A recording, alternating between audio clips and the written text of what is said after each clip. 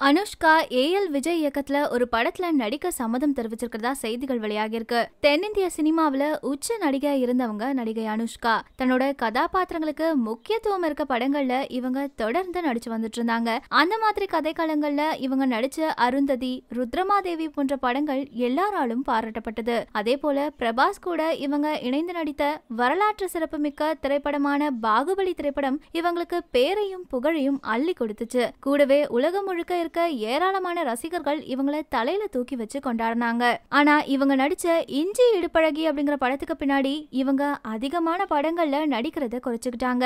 அதுலயும் தமிழ் படங்கள்ல இவங்க தலை காட்டவே இல்ல. இந்த நிலையில இப்போ திரும்பவும் தமிழ் சினிமாவுல இவங்க ரீஎன்ட்ரி கொடுக்க இருக்காங்களாம். இது சம்பந்தமா இயக்குனர் ஏ எல் விஜய் சொன்ன கதை இவங்களுக்கு ரொம்பவே பிடிச்சிருக்கிறதாகவும் அந்த படத்துல கூடிய சீக்கிரமே அனுஷ்கா நடிக்க போறாங்க அப்படின்னு செய்திகள் வெளியாகியிருக்கு.